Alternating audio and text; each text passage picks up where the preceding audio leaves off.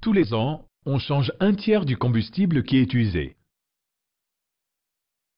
Pour le décharger, on retire un à un les assemblages de la cuve du réacteur.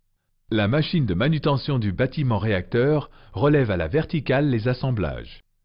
Toute cette opération doit se dérouler réacteur à l'arrêt et sous l'eau, car pour protéger les hommes contre les émissions radioactives, il faut en effet une protection de 8 mètres d'eau. Ensuite, les assemblages sont dirigés vers la piscine dite de désactivation dans le bâtiment combustible. Ils y seront entreposés pour un séjour minimum d'un an, pendant lequel ils perdront une partie de leur activité.